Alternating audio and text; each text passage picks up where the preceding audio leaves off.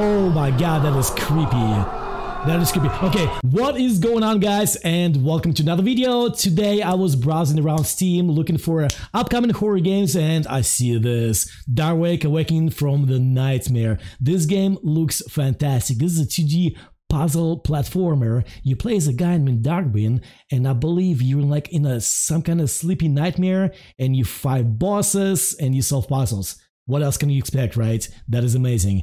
Okay, so that game looks fantastic. Look at all these animations. I'm really, really impressed. I'm definitely going to go ahead and click add to my wish list um, button. I know the demo is going to be coming out. It's going to be on my channel as well. And when the full game comes out, I will also play that. So watch for this video, guys, on my channel. And don't forget to add this to your wish list as well.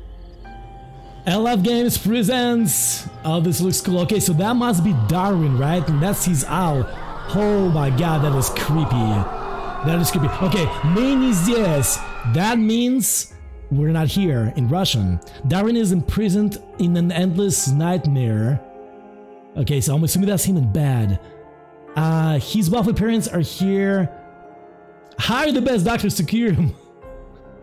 but his willpower will be the only way out. So I think what's happening here, he's asleep, right? And he's dreaming this nightmare, and here we are playing in his dream. Oh my god, he just burned a freaking crazy dog. That is crazy. Wow, so he can actually control his owl too when he needs to. And this is, guys, this is puzzles, right? This is a horror game with puzzles, which looks fantastic so far. I love this creepy freaking creatures that's in this game. And it looks like we got some bosses as well. That is really, really neat. You know, I've seen that eye symbol before somewhere. That is really cool. Yeah, okay. Well, that's pretty neat. This is um really well-made game, looks like so far. Okay, so we're checking out this gameplay in action now.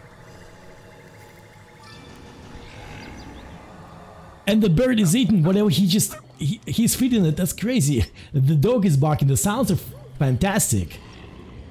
The sounds are amazing. This is gonna be a good one. Okay, he just picked up a mushroom, I think. Reminds me of Longan just a second, just a little bit because of the mushroom only. That was a boss fight, I believe, that we just saw. Ooh.